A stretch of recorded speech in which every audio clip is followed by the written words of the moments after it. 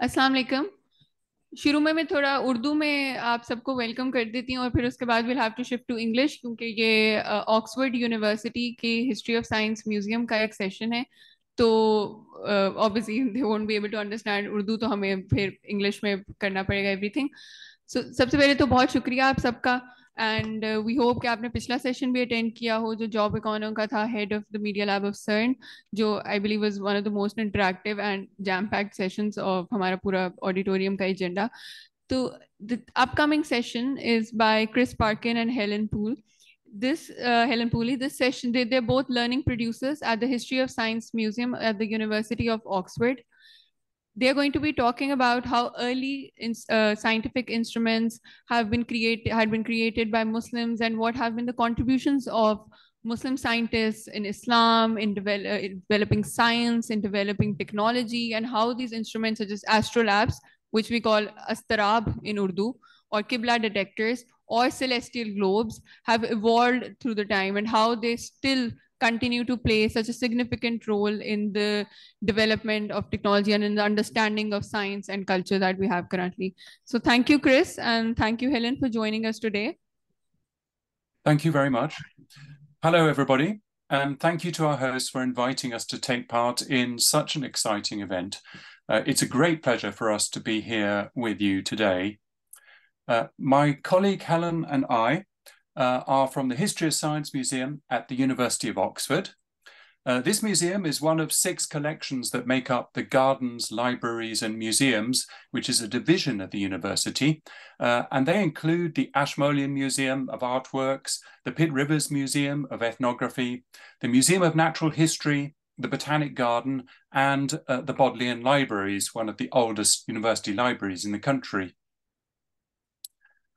The History of Science Museum is housed in a historic 17th century building. Uh, it's over 300 years old in the centre of Oxford, which was originally built to house what is believed to have been the first public museum in the world, the original Ashmolean Museum.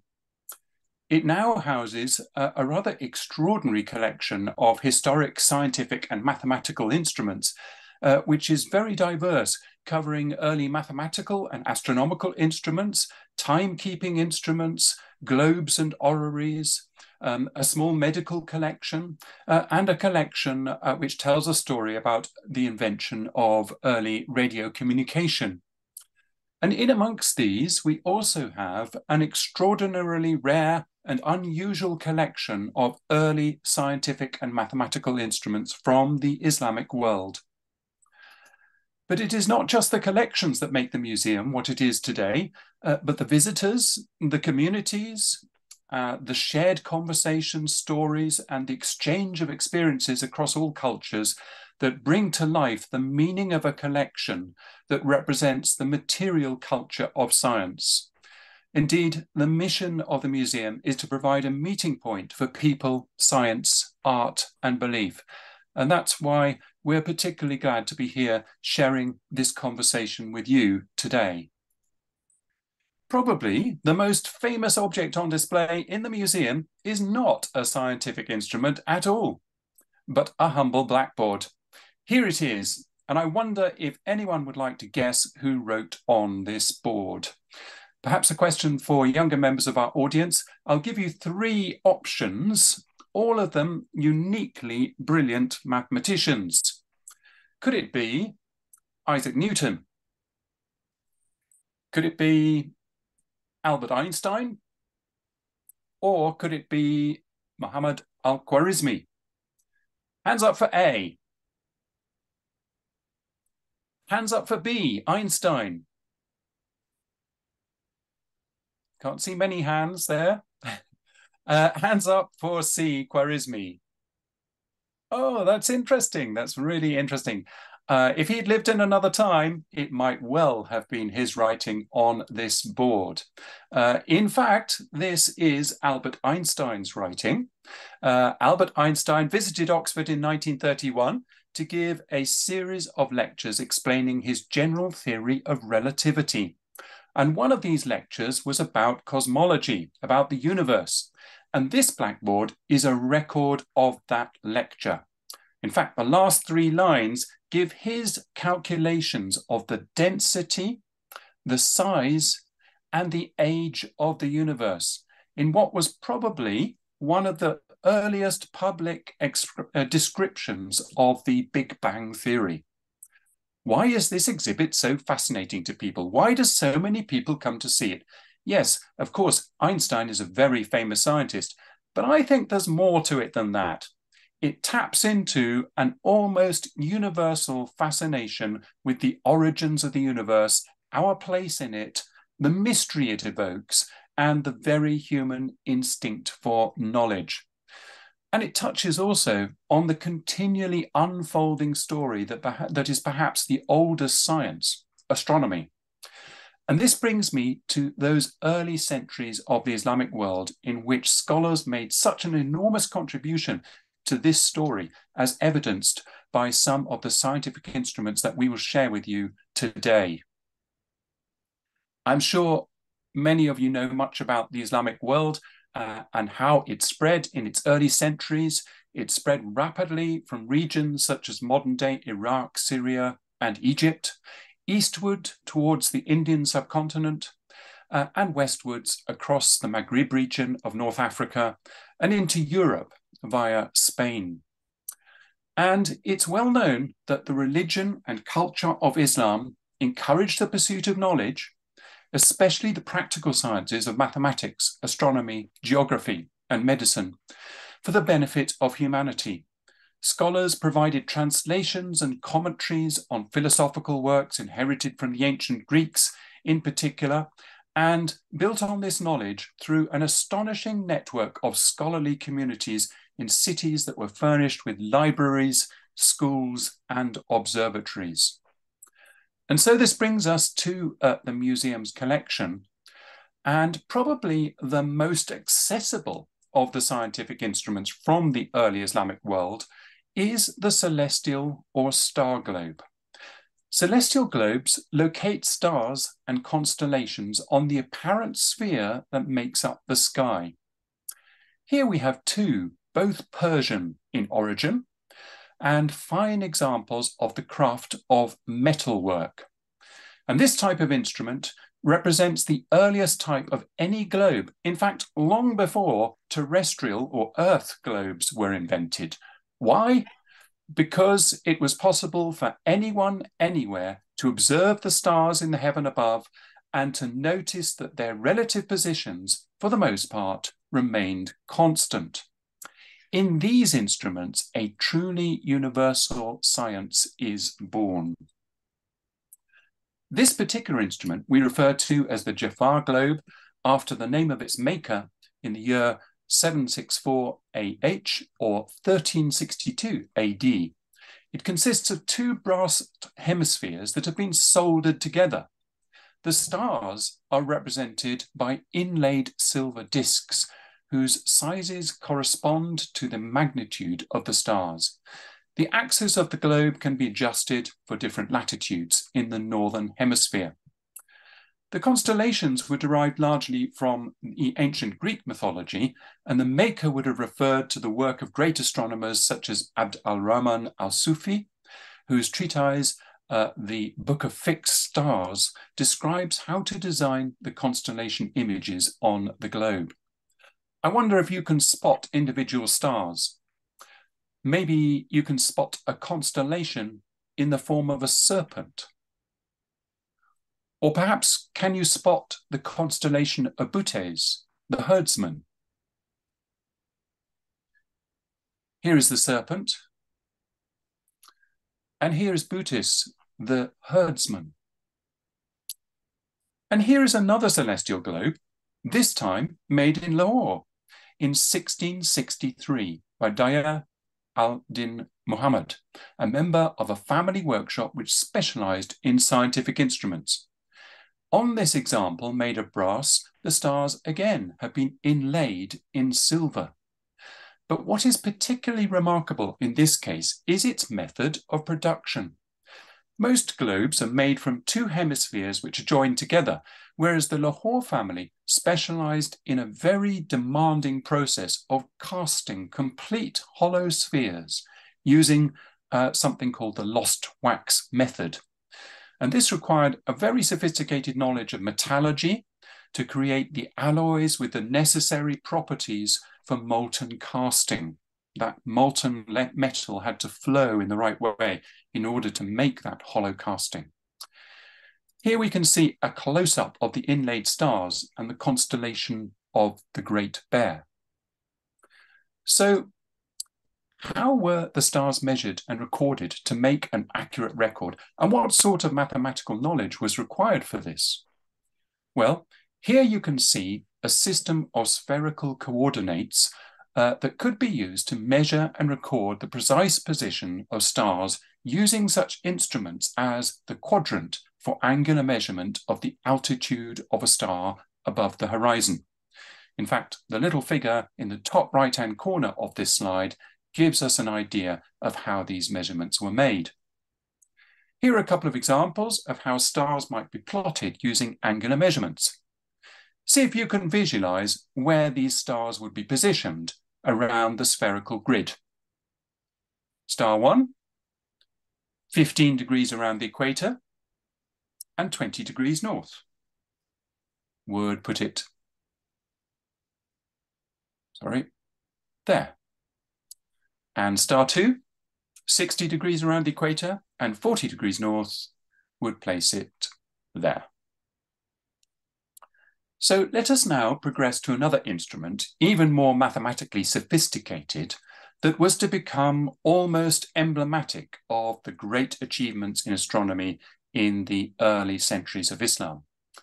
First, we must appreciate that in keeping with the model inherited from the ancient Greeks, Muslim astronomers not without question, assumed a geocentric model of the universe. That is, the Earth is considered to be stationary at the center of the universe, and all other celestial bodies, the sun, the moon, and the stars, were thought to revolve in concentric circles around about the Earth. This indeed made a lot of sense, and for the most part, the model resulted in an astonishing range of accurate predict predictions. A three-dimensional representation of this model took the form of an instrument known as the armillary sphere. They were composed of a set of rings making up the skeleton of a sphere, which rotated around about the Earth at its center. Here is a manuscript illustration of a 16th century version of an instrument from the Ottoman period. We have no early Islamic instruments of this type, but it is worth looking a little more closely at this instrument to understand the origin of another instrument derived from it. In this Italian instrument made in the 16th century, we can see the celestial sphere mounted at an angle for the latitude of Oxford. And if you look closely, you might be able to see some little curly star pointers mounted on the skeletal rings. We can also see the pathway of the sun marked out by the diagonal band that carries the constellations of the zodiac through which the sun passes on its annual journey. And here is the axis of rotation uh, of the uh, celestial sphere. And here is the line that represents the latitude uh, for which the instrument has been set up along with the observable horizon from that point on the Earth. Now, hang on tight here, as things are going to get a little bit more complicated and will require some spatial imagination. Imagine a set of coordinates, a bit like the ones that we were just plotting the stars on a moment ago, centered around the green dotted line above our position on the Earth at the latitude of Oxford. And now imagine tilting the celestial axis of rotation, that's the red dotted line, to the horizon, the, the horizontal, like this. These pictures are of a model constructed by our very able technician for an exhibition. On the left, we can see the coordinate system for the sky above us at that latitude. And on the right, we can see the armillary sphere with its star pointers lying on its side. You can also see the diagonal band that is the ecliptic that describes the sun's movement through the heavens. Now imagine projecting a light through these structures onto a translucent plane. This process of projecting this structure uh, through the axis of rotation onto a plane is known by math mathematicians as a stereographic projection. And here is the result. An entirely new instrument can be realized by the combination of these projections that captures the two-dimensional representation of the cosmos with all the information about the movement of the sun and the stars and their positions, all of it connected by one thing, the passing of time. Known as the astrolabe, a kind of cosmic calculator that mirrors the apparent movement of the stars above us, here we have an instrument that was celebrated and developed to a high level of sophistication throughout the Islamic world. This knowledge has passed on to European scholars through treatises written in Arabic and translated into Latin. This example comes from North Africa and is made by Muhammad ibn Ahmed al-Batuti in about 1733. You can see clearly here the star pointers which are mounted discreetly on a dial known as the rete, which rotates above a plate which carries that mathematical coordinate system. On the right is a separate image of the rete showing its extraordinary delicacy. One complete rotation of this dial represents the passing of a day. With such a precise instrument that could be used to measure the time, day or night, from the stars or the sun, there was another very practical reason for developing this instrument in the Islamic world. This particular instrument was owned by a mosque in Fez and it included curved lines engraved on the front plate, the mater, from which the five times of daily prayer could be precisely calculated. There are many fine examples of this instrument in the museum's collection, and in the time available, I can but share a few. This instrument is one of the finest examples in the museum's collection and is testament to the extraordinary craftsmanship and excellence in metalwork that was practiced by makers across the Islamic world. It is a Persian instrument made in about 1647 by Muhammad Mukim al-Yazdi for the Safavid ruler Shah Abbas II. It's about 15 inches in diameter, and it is impressive in its size as well as its decorative qualities. Inscribed on the throne or the kursi that triangular part at the top of the instrument, is a dedication that reads, The Supreme Prince, the Sultan, the most just, the most great, Lord of the centres of command, remover of the causes of tyranny and rebellion, King of the kings of the age. A very grand statement indeed. Such an instrument expressed knowledge that rulers would wish to associate with power and possession. Here, uh, we can see the extraordinary delicacy of the rete that carries the star pointers uh, and also incorporates in calligraphic tracery the name of its owner. And here we have another instrument associated with a powerful ruler, this time the nephew of the famous ruler Saladin, who reigned in Mesopotamia. The maker Abd al-Karim dated the instrument 1227, so that's almost 800 years old, and signed himself as servant of the king and sovereign. The craftsmanship again is remarkable and includes some really beautiful, delicate Damascene silver inlay in the throne featured here on the right-hand side. But what is especially unique about this instrument uh, is the sophisticated calendar information depicted on the reverse. Here we see beautiful depictions of the 12 constellations or signs of the zodiac, seen here towards the outer part of the instrument on the left-hand side, uh, along with, towards the middle of the instrument, a depiction of the 28 constellations that make up the so-called lunar mansions, against which the monthly motions of the moon can be observed. Why all this information? It points to another practice associated with these instruments, that of astrology. Closely related to astronomy, or even entwined with it, astrology was at various times of great interest, particularly to those in power. A court astronomer would have been expected to be equally adept in the practice of astrology. And here we have another unique example of an astrolabe. We believe this instrument, which was made in 1221 uh, by Muhammad ibn Abu Bakr in Isfahan, may include the oldest complete working geared mechanism in the world. On the face of it, it looks like an ordinary astrolabe, if there is such a thing. But on the reverse, we see a unique feature. A small window at the top depicts the phase or age of the moon, and below there is a set of rings that display the relative movement of the moon and the sun about the earth, all coordinated by a set of carefully interlocking gears. The image on the right gives a sense of the geared mechanism that is hidden in the body of the instrument. And finally, uh, last but not least, a fine series of instruments made in the 16th and 17th centuries by a family of makers here in Lahore, one of the greatest centres of instrument making of this time.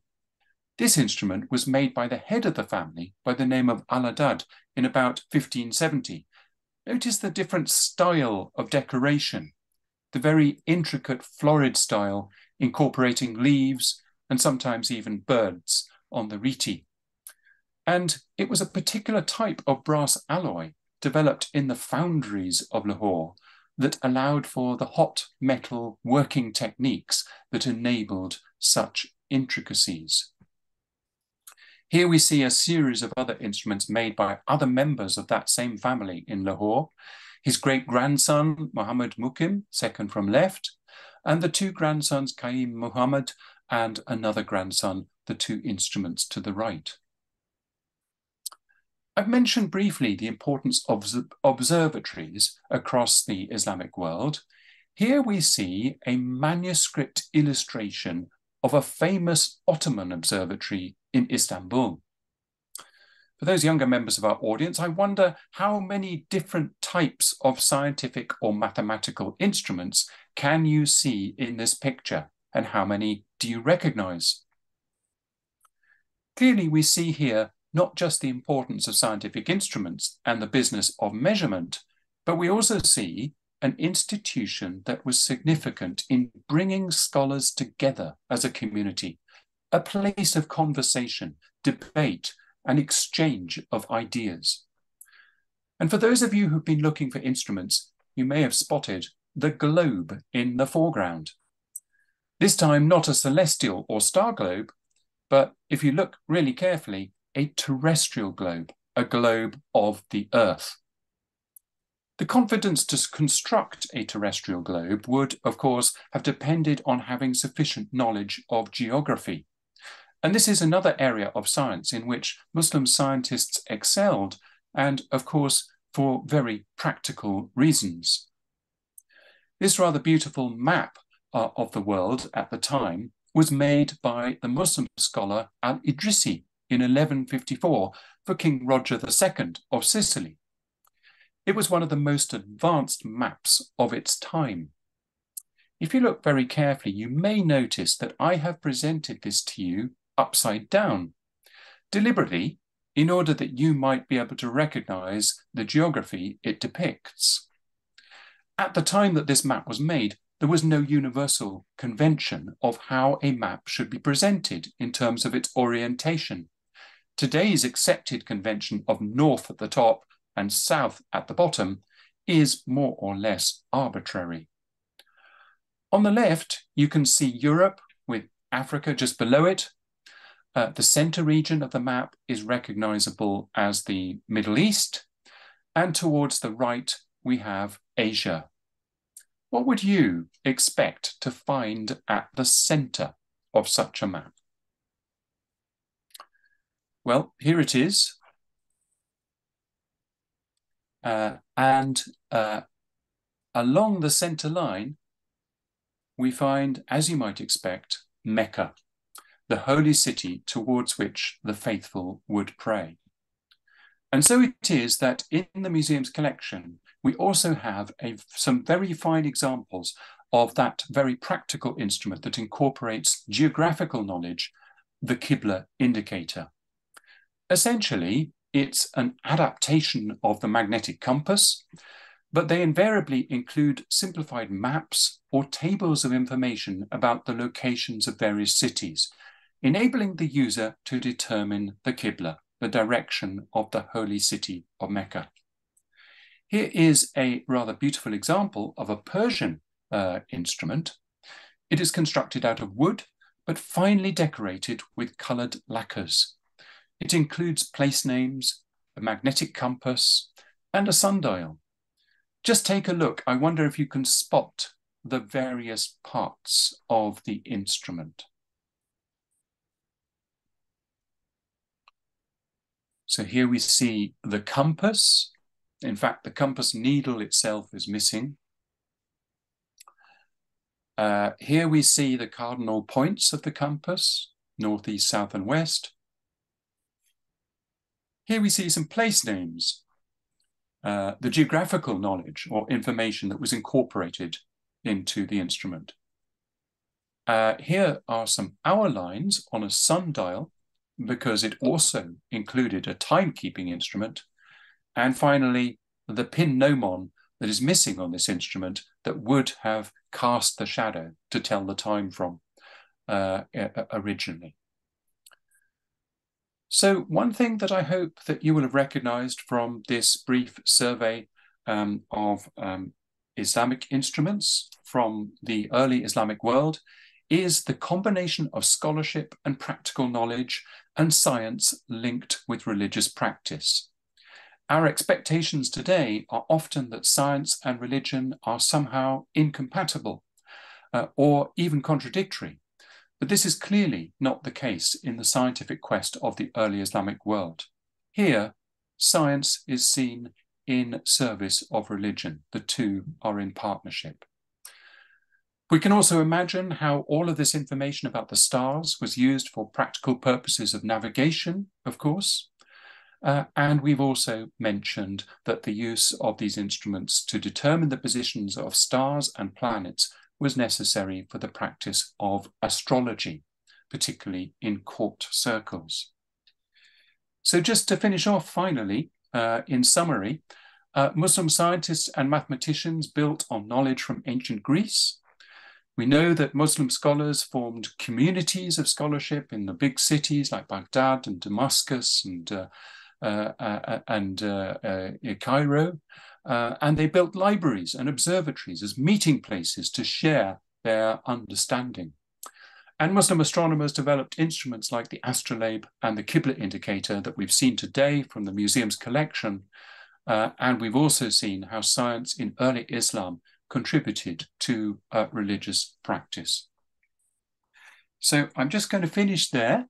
Um, and thank you so much for listening. Um, if you want to find out more about any of these instruments that I've mentioned, uh, you can uh, take a look at the website, um, uh, which is hsm.ox.ac.uk there on the slide. And you will find out more about our public programs and our projects as well, how we bring people together uh, and create a meeting point for science, art, and belief. There will also be videos and animations. Uh, so for example, if you want to find out more about how an astrolabe works uh, or an armillary sphere, do take a look at our website. I do have one more thing that I can share with you uh, now, um, and I will have a go at uh, uh, doing this. Um, uh, it is a short video. I'm hoping that the sound will come over okay. Uh, and this video will perhaps uh, bring to life uh, the workings of the astrolabe, a very complex instrument to understand. If you're unfamiliar with it, um, I can completely understand how uh, some of what I was talking about earlier uh, might have been uh, confusing. Let's have a go and see if we can share this short video.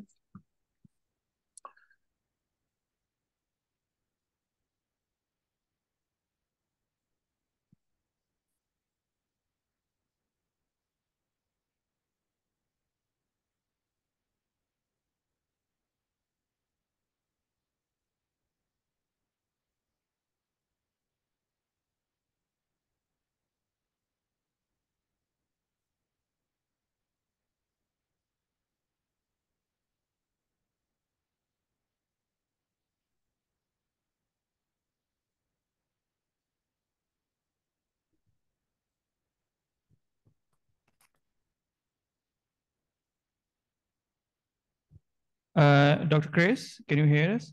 Yes. Uh, I don't think we're getting audio uh, for the Okay, video. I'll try again.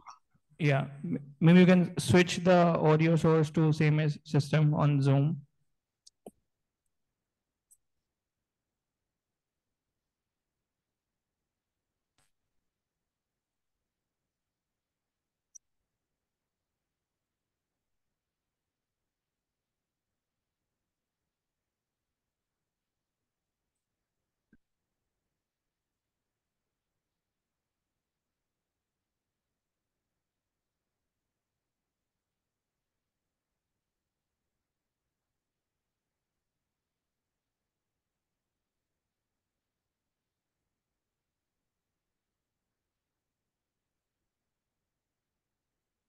Let's try this.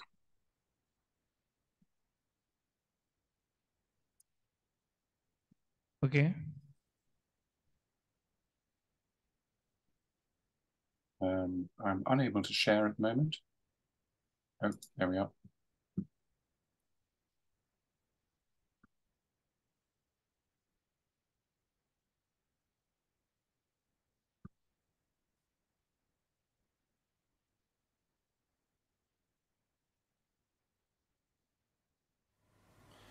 This is a fine example of one of the most dazzlingly ingenious types of instruments in the museum's collection, for which it is famous all over the world. It is called an astrolabe, and as the name suggests, it has everything to do with astronomy. The instrument is made of brass, which is partly why they have lasted so well over time, and they are beautifully and intricately crafted. In fact, one could say that they are as much artworks as they are scientific instruments. This one originates from the Islamic world. So, what do they do? Well, if you look carefully, we can see that they are made up of a rotating disc, which is called the rete in Latin, or al ankabut in Arabic, which means spider. It has been cut from a single sheet of metal and is in the form of a lattice that holds these delicate pointers which show the positions of individual stars.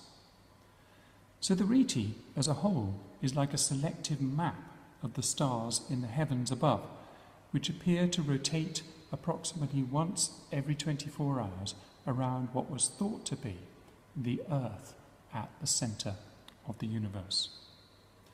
Beneath the rete is the main body of the instrument, which consists of a number of plates which fit into a shallow dish called the mater. And engraved on these plates are patterns which look a little bit like a spider's web, representing a mathematical system of coordinates, a bit like the lines of latitude and longitude on a globe, but for the heavens instead. There is also another circle here on the rete, which indicates the position of the sun in the zodiac according to the time of year. And on the back of the instrument is a device for measuring the altitude or height of the sun or a star, which then enables the user to set the position of the rete on the front and calculate the positions of the stars and the time of day. So the instrument as a whole is a bit like a celestial calculator, a calculator for the stars. So, what has this got to do with Islam? Well, some of you may know that the Islamic calendar is based on the lunar calendar. And on the back of the instrument, we find the 12 lunar mansions corresponding to the lunar calendar marked on the scales around the outer edge. So the instrument could have been used to calculate the dates of religious festivals. And on the front of the instrument, we can also see some special timelines engraved onto the main body of the instrument, labelled in Arabic. I wonder if you can guess what these might be for. Maybe you know something about the practice of prayer uh, in Islam.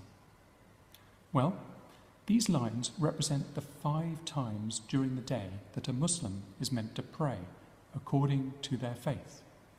So, as well as learning about astronomy, the instrument was also used in Islamic cultures for calculating the times of prayer, prayer during the day. Here we see a wonderful example of science, beauty, and religion combined together. This particular instrument was given to the Moulay Idris Mosque in Fez, a city in Morocco. And on the back of the kursi, that's this bit here at the top, uh, it is inscribed, Praise to Allah alone, made by Muhammad B. Ahmed al Batuti, year 1146. The year 1146 AH in the Islamic calendar is the same as the year 1733 in the Christian calendar, which makes this instrument nearly 300 years old. Who do you think might have used this instrument in the past?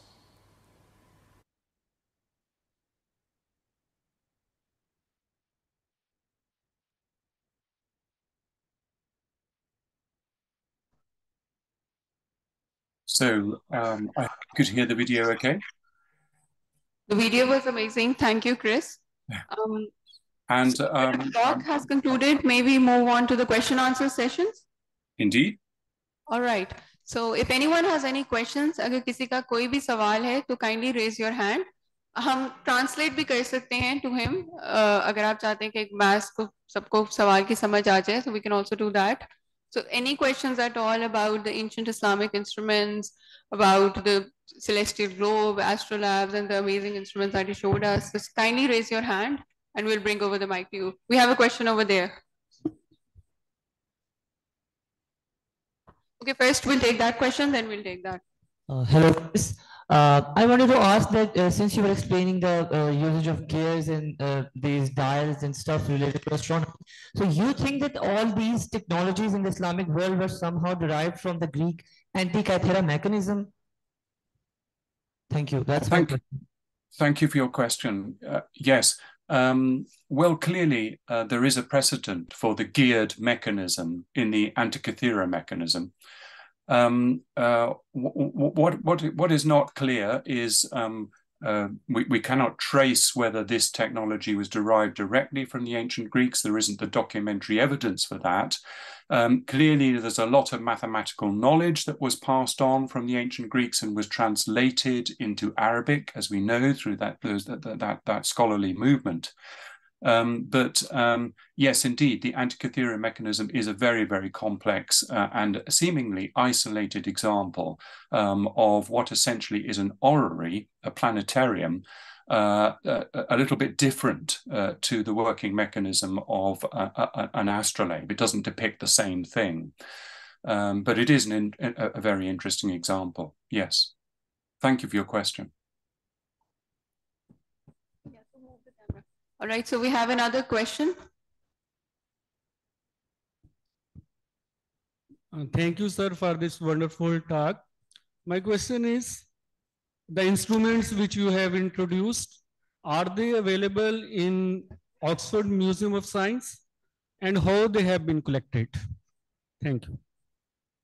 Yes, thank you for the question. Um, all the instruments that I've shared with you today uh, are um, on display at the History of Science Museum uh, in Oxford. uh, and are, are, part of uh, um, a very unusual collection, as I said, of um, early instruments from the Islamic world. Uh, many of these were uh, donated as part of the founding collection of the museum by a man called Lewis Evans, uh, who was an active collector at the turn of the 19th and early 20th century. Um, he bought uh, many of his uh, instruments from uh, auctions or from individuals who owned these instruments. And just at this moment, we are doing a, a, a, significant amount of research into the provenance of these instruments. How did they get, how did they arrive um, at the museum? And that's not an easy question to answer. We do not have, um, uh, we cannot trace that information uh, continuously uh, to the point of production in, in, in many cases, but we're, we're slowly piecing together more information there. All of these sorts of objects, these instruments, of course, would have been bought and sold, traded as functional scientific instruments. Thank you for that question. Uh, hello. Thank you once again for a very wonderful talk. Uh, the most fascinating part of the talk, at least for me, was where you explained uh, a family of craftsmen, Mr. Allahdad, who had a workshop in Lahore making these astrolabes. So how much do we know about this family? Uh, was he part of an ecosystem of instrument makers, scientists maybe? Uh, how long did this instrument making um, uh, venture lasted? Because we don't see astrolabe making uh, workshops here in Lahore today. Uh, and um, uh, just just general information about what else was going on in Lahore at that time. thank you for the question. Um, I, I, I, I, I confess that this is not an area that I uh, of research that I'm an expert in. Um, the information that we have about the Lahore makers um, is rather restricted to the instruments that I've shared with you today, and that particularly fam that particular family of makers, the astrolabes, the um, uh, celestial globe that I shared with you, um, what is particularly fascinating and what uh, and the research that has been done on these instruments is looking at the methods of production. Um, and this brings to light a really extraordinary knowledge of metall metallurgy uh, in the sense that the alloys that um, they made were a very distinctive type with different compositions of metals, mostly copper based, but also zinc and lead and other metals as well in different proportions such that they were able to uh, uh, carry out the manufacturing processes that they did. Like I mentioned, for example, the lost wax uh, method of casting, uh, which would have required a particular property uh, of the, the, the, metal flow. Um, and the astrolabes that were made um, many of those were cut from sheet metal that required a particular crystalline property of the alloy as well, um, that would allow for the intricacy of working too. So it's very clear that there was a lot of knowledge of metallurgy that was being shared across the region. Uh, the zinc itself probably came uh, from India, uh, uh, from sources there of you know quite quite high um, percentage uh, zinc. Uh, rather than just zinc ore, zinc oxide, which um, was the case in many other production centers across the world, you know, like in, in Europe, for example. So there would there was definitely something very um, distinctive going on in, in, Lahore and and the region in terms of metallurgy as a whole. Uh, I can't, I'm afraid, answer the question about instrument making. We do know that this family was particularly prolific, and there are other instruments in other collections around the world. Thank you for your question.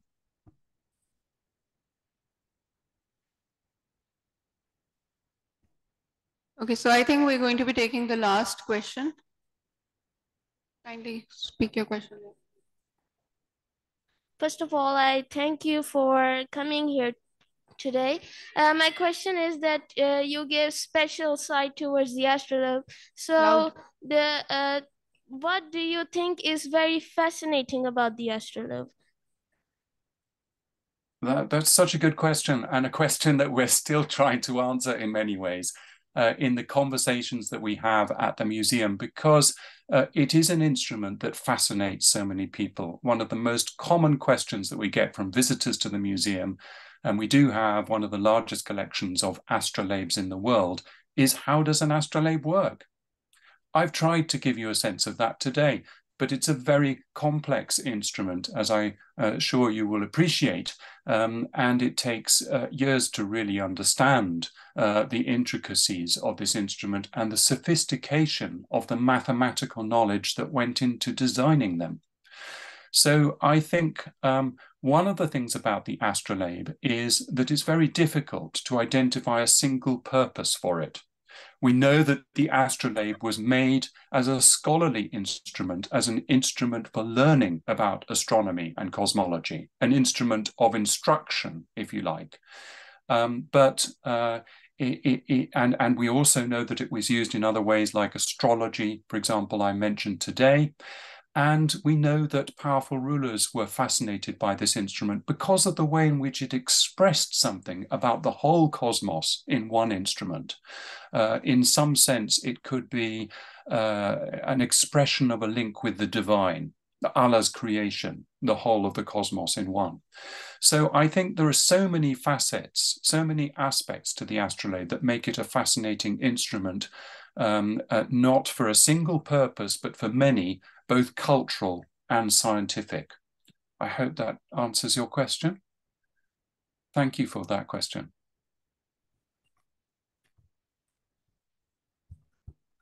Okay, actually, we have one more question, the last one. yeah. Okay.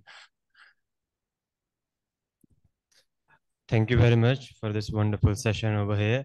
Uh, basically, I have just two questions. One of them, well, relates to the fact that I just want to confirm that if these astrolabes or the Usturlab, as we locals may say, do they have anything to do with the working of the constellations apart from determining the exact location of the stars or the sun and the moon?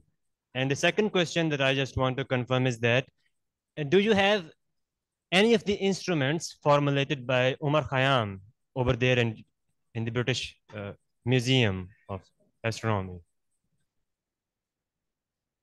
Um, to the first question, I'm not sure if I entirely understood what you meant by your question about the constellations, but might I just say that, um, of course, it was only possible to depict on the astrolabe a selection uh, of prominent stars, uh, and from that to derive the main, the principal constellations, such as the constellations of the zodiac. Um, so uh, you know, typically an astrolabe might carry uh, maybe maybe between twenty and thirty stars or something like that. Um, so uh, it, it is very selective in that sense, uh, and of course it considers the heavens to be a very simplified sphere which is made up of these fixed stars uh, in, in, in positions which are almost constant in relation to each other. Um, so what we don't get is any kind of connection with our modern understanding of um, uh, astronomy, of astrophysics, of um, uh, you know, galaxies or anything like that. You know, these are not concepts that were around at the time that these instruments were made. We're simply sort of depicting the positions of stars and from that deriving constellations which were known to the ancient Greeks and to other civilizations too. Um, as to your second question, I, uh, I'm afraid I'm unable to answer that question. We do not, as far as I know, have any instruments which are uh, linked with Omar Khayyam. Um, but, um, uh, but, but, but, clearly that, that, that is an interesting question, and that's uh, something I would like to pursue. Helen, can you cast any light Hello, on that yes, question? I've just been looking on our collections database, which is accessible to the public um, as well. So something you can take a look at when you go to our website. Um, and I'm afraid it doesn't look as though we do have um, any from that maker, I'm afraid. Thank you for your question. All right. And thank, yeah. And th thank you to all of you for being such a fabulous audience. It's been a great pleasure for us to join you today. Um, thank you, Chris and Helen, and thank you, everyone. Thank you. Um, thank you, Helen, for also mentioning about the database at the History of Science Museum at, of University of Oxford's website. So I think all of you can check that out afterwards. So thank you once again, Helen and Chris. We really hope that we can also host you in person the next year or sometime even sooner. All right, so all right, so we're going to be ending that meeting. And uh, our next session is a musical session. It's by Miss Bina Raza of the Sanjan Nagar Institute. She's going to be uh, giving a talk on music and education. And before that, we'll have a piano recital session by Zara Khan. My fellow host, Janita, is going to be further introducing them both. I would just request that we'll be beginning in the next two three minutes हम अगले चंद मिनटों में शुरू करने वाले हैं। सो so kindly अगर आपने बैठे हुए हैं तो प्लीज़ बैठे रहिए और अगर लीव uh, करना है तो वो भी आप लोग ऐसे करें कि डिस्टर्बेंस ना ज़्यादा क्रिएट हो। So just give us two minutes अगले